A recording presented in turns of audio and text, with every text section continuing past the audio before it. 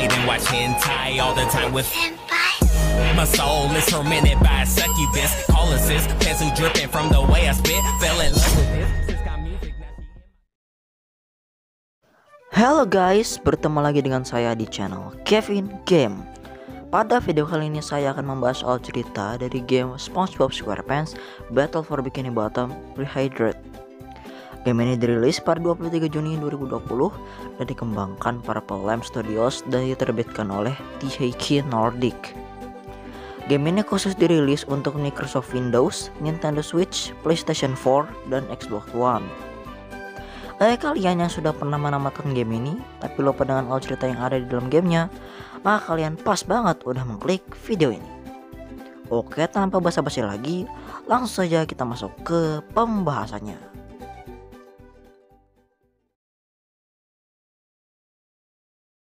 Cerita bermula di kota Bikini Bottom, sebuah kota yang berada di dasar laut.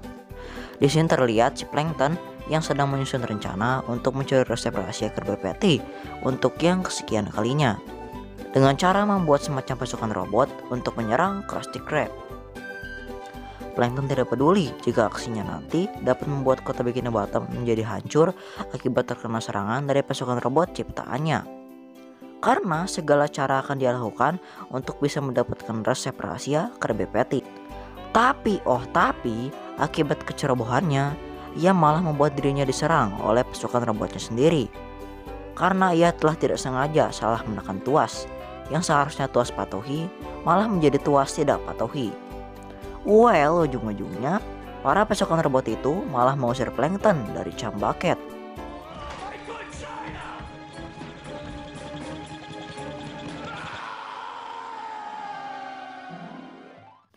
Kini kita berpindah tempat menuju rumahnya SpongeBob. Terlihat di sana ada SpongeBob dan Patrick yang sedang bermain di dalam rumah. Namun lama-kelamaan, mereka berdua mulai bosan dengan mainan robot-robotan yang sedang mereka mainkan sekarang. Alhasil, mereka berdua pun berharap agar mainan mereka dapat berubah menjadi robot sungguhan. Untuk mewujudkan impian mereka itu, Patrick memiliki sebuah ide, yaitu dengan memasukkan mainan robot mereka ke dalam kerang ajaib. Serta berharap agar keesokan paginya mainan mereka akan langsung berubah menjadi robot sungguhan. Setelah itu, mereka berdua pun memutuskan untuk pulang.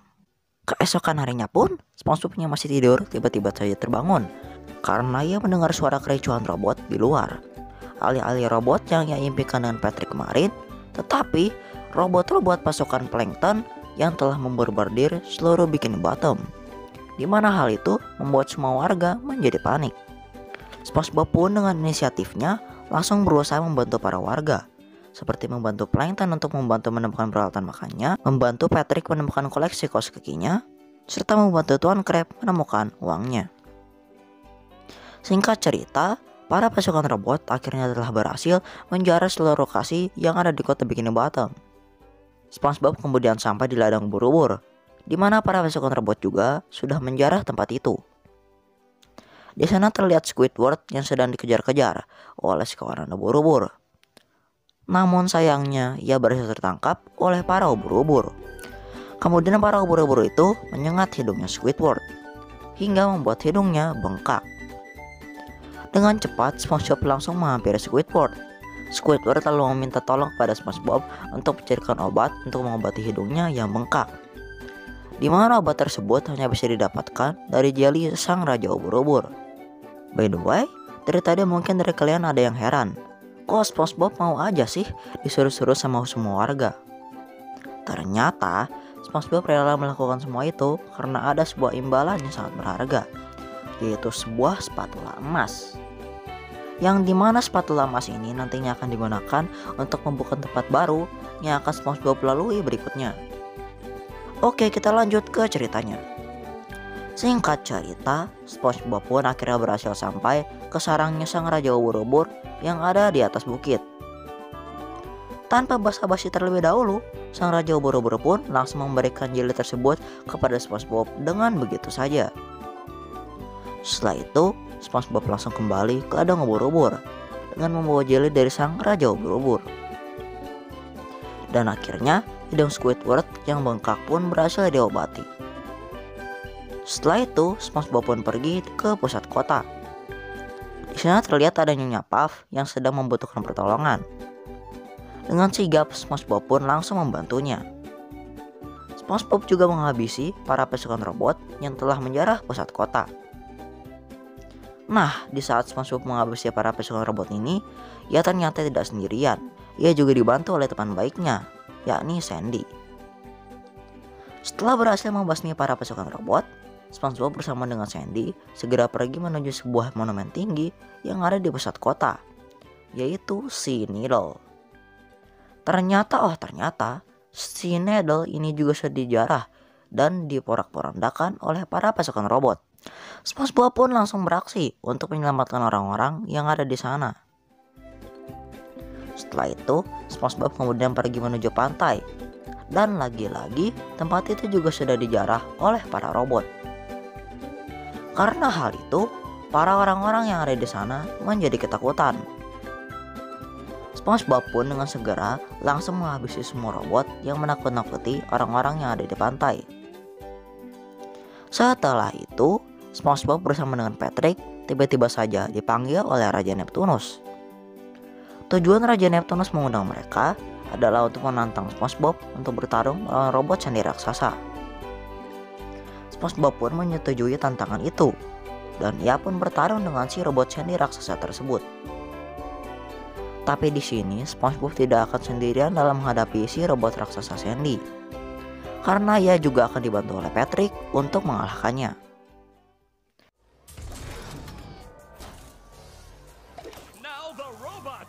Beating out there.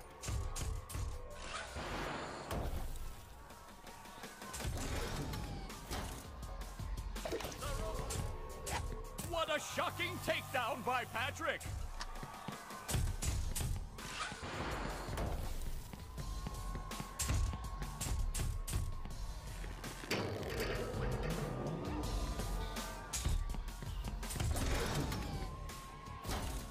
The robot's losing its head. Singkat cerita, mereka berdua akhirnya berhasil menumbangkan si robot raksasa Sandy. Raja Neptunus pun sangat bangga terhadap SpongeBob karena telah berhasil menumbangkan si robot raksasa Sandy. Esokan harinya pun tiba. Di sini, SpongeBob mulai menaruh kecurigaan kepada Plankton karena ia sempat melihat para pasukan robot itu muncul dari Cambucket. Ditambah di depan pintu Cambucket terdapat sebuah tulisan yaitu ini adalah markas robot yang semakin memperkuat asumsinya SpongeBob. Tapi oh tapi bukan Plankton namanya kalau tidak punya banyak akal bulus yang licik.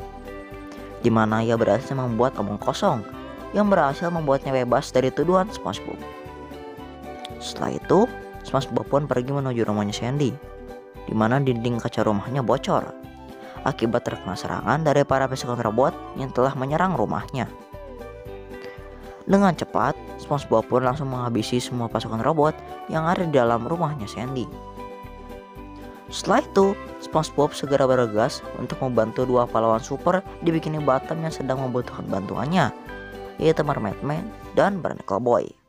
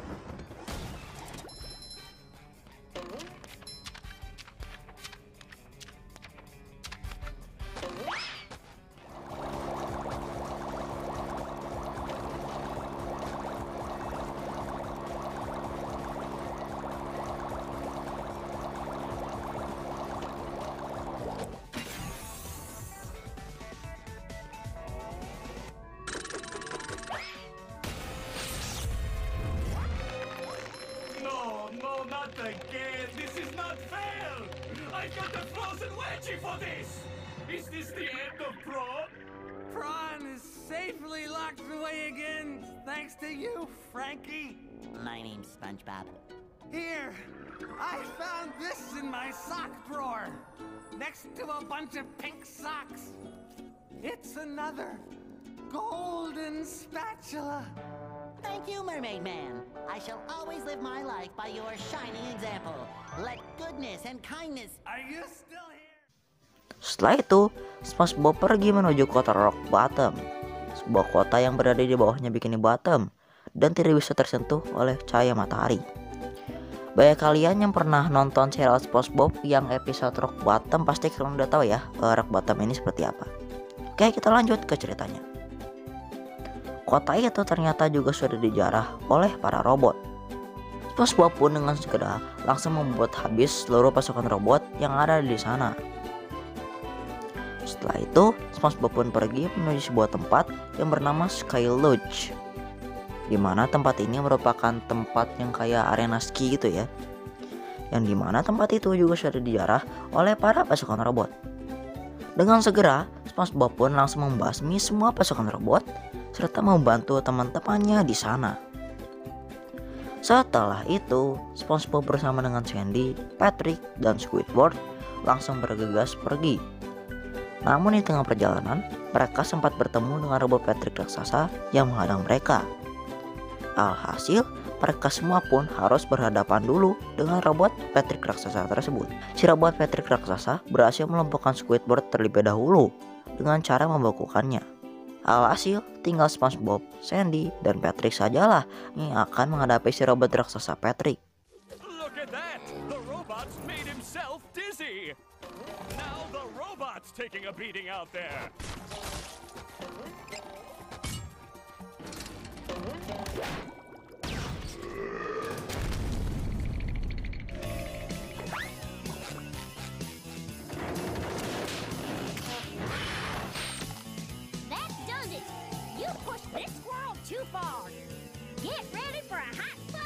Twister, Texas style. Now the robot's taking a beating out there! Oh, and the robot is down! And the robot is down! One more douse with that stuff, and SpongeBob will be back in the ring! Singkat cerita, setelah pertarungan yang sangat sengit, SpongeBob, Sandy, dan Patrick berhasil mengalahkan robot tersebut dan membebaskan kembali Squidward yang membeku. Kemudian selanjutnya, SpongeBob pergi menuju Krusty Krab, di mana tempat itu juga sudah dijarah oleh para pasukan robot. Dan akhirnya, seperti biasa, SpongeBob berhasil menghabisi semua pasukan robot itu dengan sangat mudah. Beberapa saat kemudian, muncullah sebuah berita di televisi yang akhirnya mengungkap siapa dalang di balik semua penyerang robot ini. Yang di mana dalangnya adalah Plankton. Tapi sebelum SpongeBob akan melabrak langsung Plankton ke Chum Bucket, ia masih harus pergi dulu ke sebuah hutan yang bernama Kelp Forest. Karena Nyonya Puff yang sedang ingin berkemah di sana malah tersesat. Lagian ngapain coba berkemah sendirian di hutan gitu kan? Singkat cerita, setelah SpongeBob selesai membantu Nyonya Puff yang tersesat, ia bergegas pergi menuju markas sang hantu bajak laut, yaitu Flying Dutchman. Di sana, Flying Dutchman meminta bantuan SpongeBob untuk menghabisi semua pasukan robot yang sudah membajak kapalnya. Dengan janji ia akan memberikan spatula emas seperti saat kita membantu orang-orang yang sebelumnya. SpongeBob pun berhasil menghabisi semua pasukan robot yang telah membajak kapal Flying Dutchman. Namun, di sini Flying Dutchman tidak mau menepati janjinya yang akan memberikan imbalan spatula emas kepada SpongeBob. Di sini, Sandy yang melihat perilaku tidak adil Flying Dutchman tersebut kemudian marah besar kepadanya. Ia pun menantang Flying Dutchman untuk bertarung dengannya.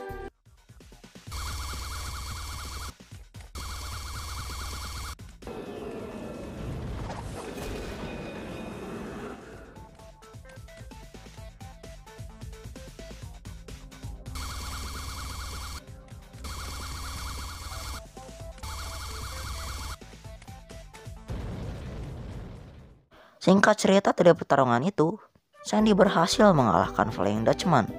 SpongeBob pun lalu segera melerai mereka berdua. Ia lalu menawarkan sebuah kapal bajak laut gelembung kepada Flying Dutchman agar dia mau memberikan sepatu lamas yang ia sudah janjikan. Flying Dutchman pun akhirnya setuju dan memberikan sepatu lamasnya kepada SpongeBob. Setelah itu, SpongeBob sempat merasa kelelahan dan membuat ia tertidur beberapa saat. Di dalam tidurnya, SpongeBob bermimpi bahwa ia sedang meminta sepatu lamas dari teman-temannya satu persatu. Dan setelah ia berhasil mengumpulkan semua sepatu lamas itu, ia tiba-tiba terbangun dari tidurnya. SpongeBob lalu bersama dengan Sandy, Patrick, dan Squidward langsung bergegas menuju ke dalam cambaket. Di dalam sana, mereka mendapati sebuah mesin yang digunakan Plankton untuk menciptakan sebuah robot yang menandakan bahwa kecerdasan SpongeBob selama ini adalah benar. Mereka juga melihat kalau di sana sudah ada dua robot raksasa yang wujudnya menyerupai SpongeBob dan Plankton. Plankton sendiri yang menciptakan robot-robot itu udah kehabisan cara nih untuk membuat robot-robot ciptaannya kembali patuh kepadanya. Alhasil, kedua robot raksasa itu menyerang Plankton, SpongeBob, Sandy, Squidward, dan juga Patrick. Mereka semua pun berjuang suka tenaga untuk bisa mengalahkan kedua robot raksasa itu.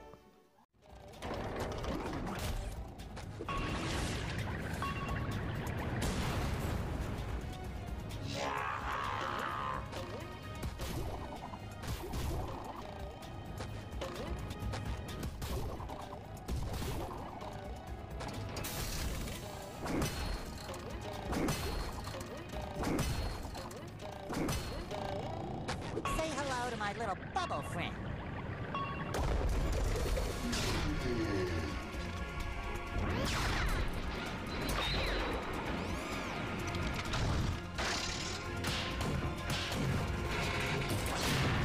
No! You dolts are destroying my beautiful bride! We were supposed to get married next week. Did he say married? I'll repair you, baby. I'm shrinking! No, Patrick. I think the robot is getting bigger.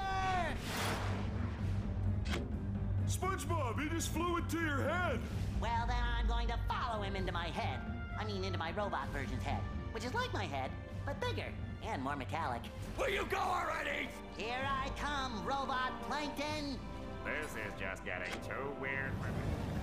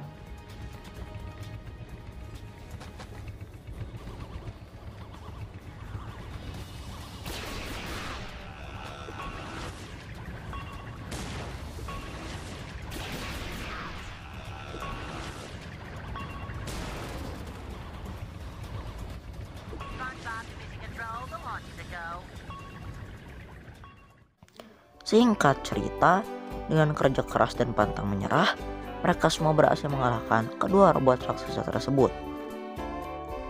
Mesin pencetak robot Plankton pun mulai menjadi error, karena mesin itu mulai mencetak robot terlalu banyak, sehingga robot-robot itu saling menghancurkan diri satu sama lainnya. Dan setelah itu, akhirnya semua masalah terkait penyerangan robot ini telah selesai. Namun perjuangan SpongeBob dan kawan-kawannya masih belum selesai karena masih ada sisa-sisa pasukan robot di luar sana yang belum mereka basmi.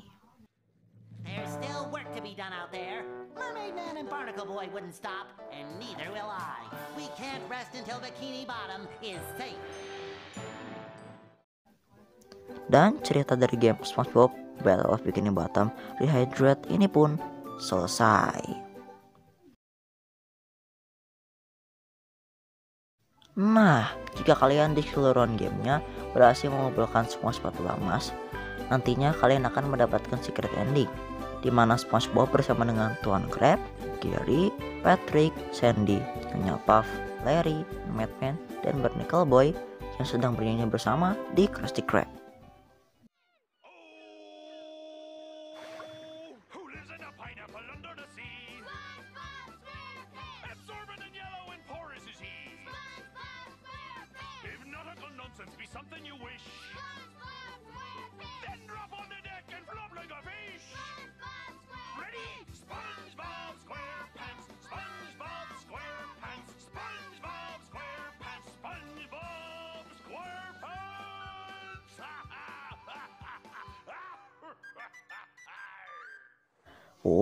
Oke guys, sekian dulu oke untuk all cerita dari game SpongeBob SquarePants Battle for Bikini Bottom Rehydrate ini.